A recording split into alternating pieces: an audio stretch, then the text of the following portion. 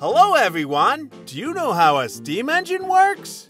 Well, that's what we're talking about today! Have you ever seen your mom or dad boil some water in a tea kettle?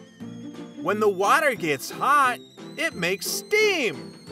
The steam expands inside the kettle, and then. That's right! It pushes out of the kettle. Old locomotives were powered in much the same way. Let's look inside a steam engine and see what's going on. The fireman shovels coal inside the firebox. Coal is a fossil fuel that's taken from deep inside the earth. The heat from the fire passes through many different pipes that run through a tank of water, called a fire tube boiler.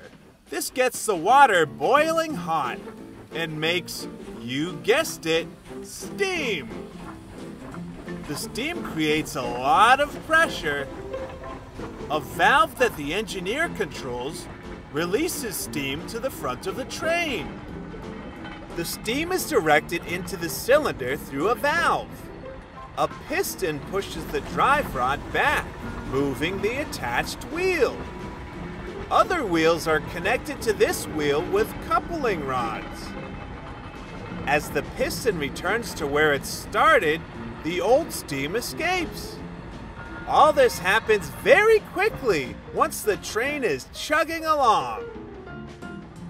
Well, there you have it, friends. Do you have a question for our next episode? Be sure to leave it in the comments, and we'll answer it when we can. Thanks for dropping by. Class is dismissed.